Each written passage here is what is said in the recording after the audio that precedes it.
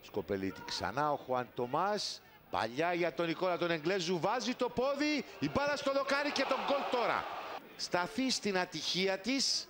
Εδώ με τον Νικόλα τον Εγγλέζου να στέλνει την μπάλα στο δοκάρι. Ήρθε όμως πολύ γρήγορα, πιο γρήγορα από τον Μαξιμιλιάνο Λίβα. Ο Κούλης ο Παύλου και την έστειλε στα δίχτυα. Ο Σαριστίδου πέρασε στον Πιντσέλη. Λάθος μπαλιά. Τον Μητίδης, ευκαιρία για τον γκολ, το 2-0.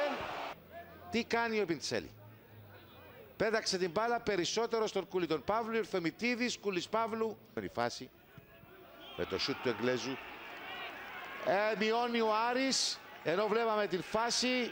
Η παλιά που βγαίνει, Μιχαϊντίνα κερδίζει την κεφαλιά. Δημιουργούνται προϋποθέσεις. Είναι ο Μιχαϊντίνα απέναντι στον Οκόγε.